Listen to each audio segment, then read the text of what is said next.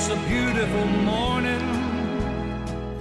It's a wonderful day. Walking It's a beautiful day. I'm Pastor Johny. Greetings, dearly beloved. I want to speak to you today about the guidance of the Holy Spirit in soul winning. The Holy Spirit is so involved in soul winning. In fact, without His conviction, we cannot lead somebody to Christ. You will just find yourself winning arguments and not winning the soul. Let's look at what Jesus said about the Holy Spirit helping us and being with us. Look with me at Luke chapter 12 and verse 11. Now, when they bring you to the synagogues and magistrates and authorities, do not worry about how or what you should answer or what you would say. For the Holy Spirit will teach you in that very hour what you ought to say. Just the fact of being available to the Holy Spirit in soul winning. Every morning on my way to work, I prayed, Lord, give me an opportunity today. Make me a soul winner today. I thank you for the opportunity.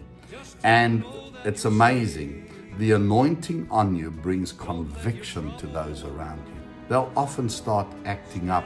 They'll often start making excuses for what they do. You said nothing, but they're making excuses. What is that? That's the conviction of the Holy Spirit. And so Jesus said, Don't worry about what you would say. But as the Holy Spirit convicts them, they start talking about things. Then you simply hone in on that very thing and you speak to them and you talk to them about how Jesus can save them from their sin, how Jesus saved you from your sin. And that is the point of conviction.